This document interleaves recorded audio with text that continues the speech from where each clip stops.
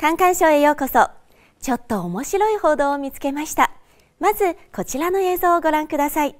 これは2022年北京冬季オリンピックの開幕式で聖火点火者に選ばれた新疆ウイグル族出身ノルディックスキーのジニゲル・イラムジャン選手の家族が家で生中継を通して彼女を応援している映像です。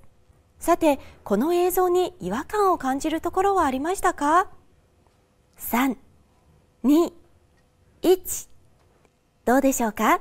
私は特に違和感はありませんでしたが、イギリスの最も歴史あるタブロイド紙デイリーメールはこのような違和感があるそうです。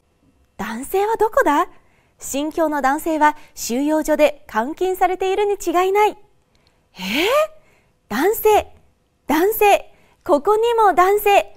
男性は普通に映っていますけど。さらに報道を見ていくと、確かに男性はいる。でも明らかに女性の数が多い。この性別のアンバランスは多くの新疆の男性が収容所に監禁されている証拠だ。えー、その論点は無理やりすぎませんか？実際はどうなんでしょうか？イラムジャン选手の家に行って状況を聞いてみましょう。本，身就是亲戚朋友就这么多，因为坐在那边没排上，所以就出现了这些问题，要不然他们都在这。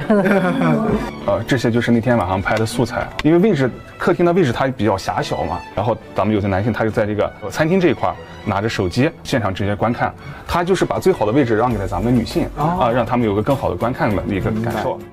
デイリーメールの皆さん見えましたか？中国には欲加之罪何患無辞ということわざがあります。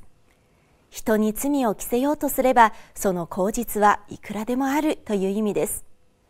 新疆のジェノサイド論、強制労働論は長く続き、これからもしばらく消えることはないでしょう。でも、きっとより多くの人は徐々に徐々に真実に気づくと信じています。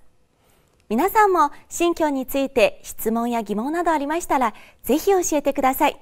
私が頑張って答えを探してきます。